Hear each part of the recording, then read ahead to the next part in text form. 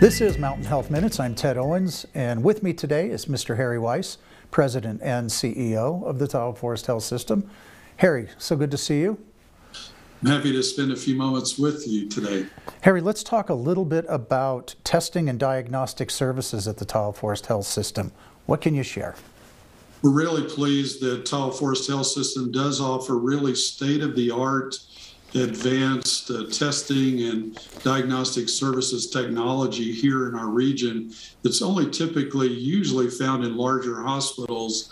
And a few examples of this uh, in our radiology department really include ultrasound services, nuclear medicine services, PET CT scanning, which is really rare, which especially helps uh, cancer related patients. We have DEXA screening, which deals with bone density uh, screening. We have MRI services and CT services. And Harry, you have your own uh, imaging center. Uh, they offer some other high level services as well. Tell us a little bit about the center and what else folks can expect. Yes, uh, Tahoe Forest Hospital also has the Briner Imaging Center Genius 3D mammography uh, system. This is the top of the line uh, mammography system in the country. It really uh, uses advanced tomosynthesis technology and these genius exams. They really significantly increase the detection of breast cancer while simultaneously decreasing the number of women who are asked to return for another visit for additional testing. That's really special.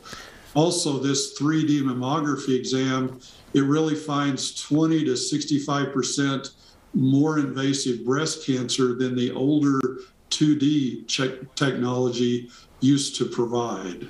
Harry, in our last minute, uh, share with us what other diagnostic services Tahoe Forest Health System provides. So, in addition to that broad array of diagnostic imaging, we offer laboratory services, that are very comprehensive, that are adult and pediatric blood draw across a wide spectrum of testing, non blood specimen drop offs, and even EKGs.